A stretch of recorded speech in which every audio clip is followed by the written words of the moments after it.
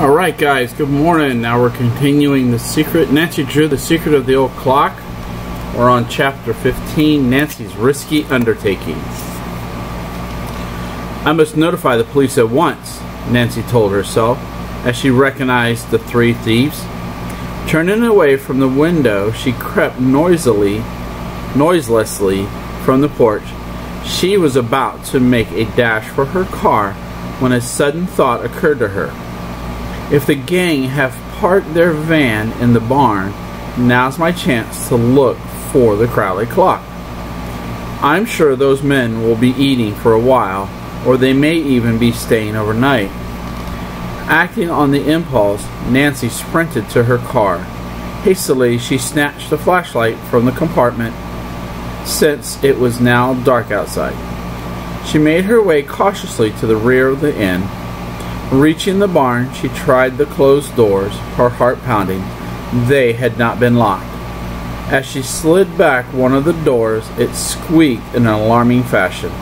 Anxiously, Nancy glanced toward the inn, but so far as she could tell, her actions were unobserved.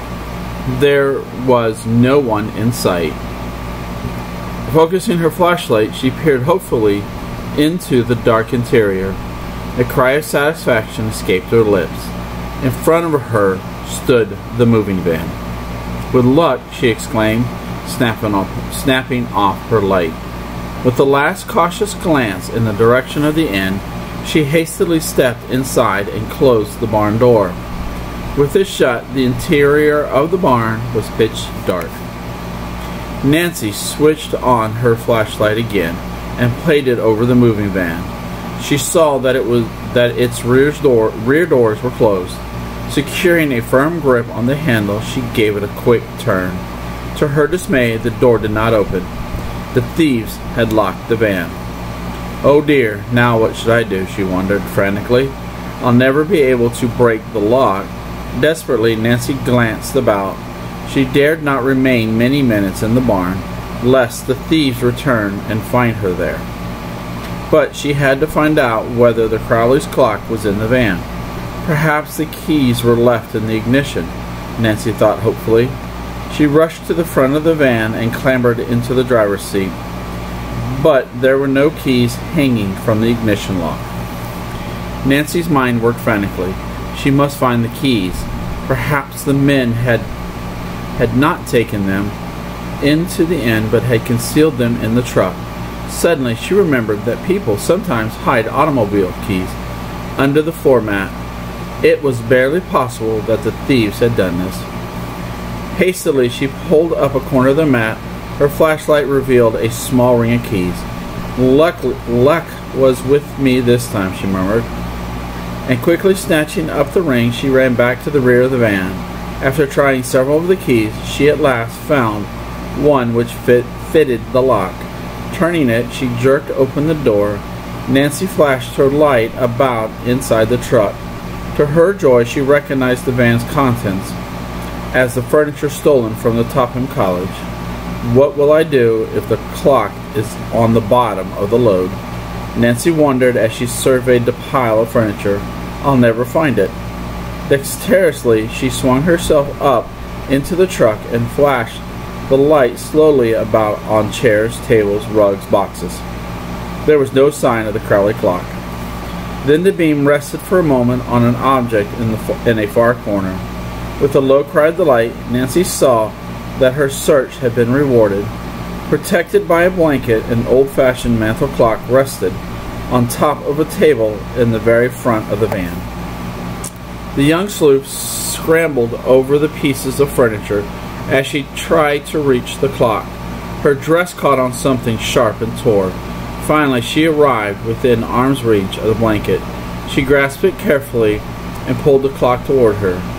One glance at the timepiece assured her that it fitted the description Abby Rowen had given her. It had a square face and the top of uh, and the top was ornamented with a crescent. The Crowley clock at last, Nancy whispered almost unbelievingly. But as she stood staring at it, her keen ears detected the sound of voices. The thieves. I'll be caught, flashed through her mind. I won't be able to escape a second time. Clutching the blanket and the clock tightly in her arms, Nancy scrambled over the piled up furniture as she struggled to get out of the truck before it was too late. Reaching the door, she leaped lightly to the floor. She could now hear heavy footsteps coming closer and closer. Nancy shut the door, truck door as quickly as possible and searched wildly for the keys. Oh, what did I do with them? she thought frantically. She saw that they had fallen to the floor, snatched them up, hurriedly inserted the correct key in the lock, secured the doors. But as Nancy wheeled about, she heard men's angry voices directly outside. Already, someone was starting to slide back the barn door. Oh, well, well, what shall I do? Nancy thought in despair. I'm cornered. She realized instantly that she could not hope to run to the front of the car and place the keys under the mat where she had found them. I'll put them on the floor, she decided quickly. Maybe the men will think they dropped them. Then, glancing frantically about for a hiding place, Nancy saw an empty grain bin. Running to it, still holding the clock, she climbed inside and dropped the blanket over her head just as one of the barn doors slid open. One of the men was speaking loudly. Nancy recognized the voice instantly. It belonged to Sid, the ringleader of the thieves. You had enough to eat, he growled. We're going to get out of here before we have the cops down on our heads. He climbed into the cab and turned on the headlights. Nancy held her breath. Would her hiding place be discovered? But the men apparently did not even look toward the bed. In a moment, Sid cried out, What did you do with those keys? Thought you put them under the floor mat. I did. Well, they ain't here. Honestly, boss, I. Then come and find them and don't be all night about it either. All right, get out of the way and give me a chance. As Jake went to the truck and began a careful search for the keys, Nancy listened fearfully from her hiding place. Say, if you've lost them, the leader did not finish the threat, for at that moment the third man announced, Hey, here they are on the floor. You must have thought you put them in your pocket, Jake, and dropped them instead. I didn't, the other retorted. The thieves were obviously in a quarrelsome mood. Just then the leader interrupted. Cut out the yakking. We ain't got no time for a fight unless we want to land behind bars. And if we do, it'll be your fault, said Sachs. You left that girl to starve. Shut up, the leader snarled.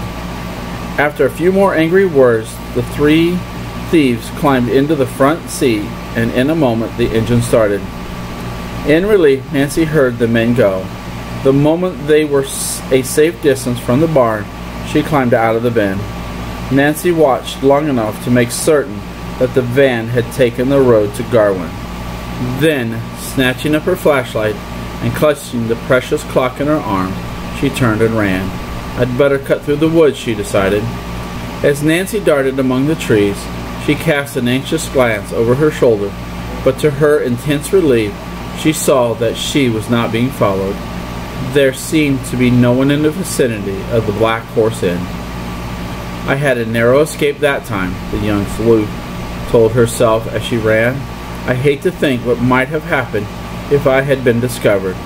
She clutched the mantel clock more tightly in her arms, but it was worth the risk I took. I found the clock and maybe the secret of Josh, Josiah Crowley's will. Reaching the car, Nancy sprang inside. She took the key from her pocket, inserted it in the ignition lock.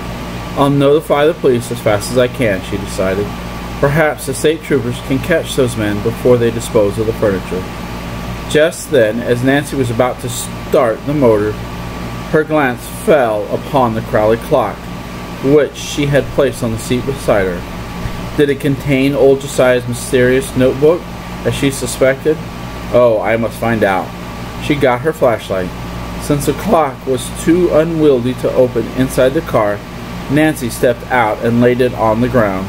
She unfastened the glass door and ran her hand around the walls. There was nothing inside. She tried the back. Only the mechanism of the timepiece was there. Gone, Nancy groaned. Oh dear, has my luck ran out? Could it be, she wondered, if the Tophams had discovered the notebook, only to destroy it? Nancy discarded this thought as quickly as it came to mind. for she recalled the conversation she had overheard between Ada and Isabel. No, the Tophams were as ignorant as herself concerning the location of a latter will. It was more likely that Abby Rowen had been confused in her story. After all, she had not declared that the notebook would be found inside the clock. Nancy herself had made the deduction. I was almost certain I'd find the notebook, she murmured in disappointment. But a moment later, she took heart again. It must be here somewhere, she told herself. Turning the clock upside down, Nancy gave it a hard shake. Something inside moved. Hopefully, she repeated in action. Unless I'm wrong, Nancy thought excitedly, there's something inside this clock, besides the works. She examined it more closely. An extra piece of cardboard, cardboard back of the face, and something in between the two. The notebook, maybe? After a vain attempt to remove the heavy cardboard face with her fingers, Nancy took a small screwdriver from the glove compartment. With the tools it required but an instant with the tools it required but an instant to remove the two hands of the clock and jerk off the face. As the cardboard fell to the floor, Nancy peered inside and gave a low cry of joy. There, at one side of the clock, attached to a hook in the top, dangling a tiny dark blue notebook. End of the chapter. Love you guys.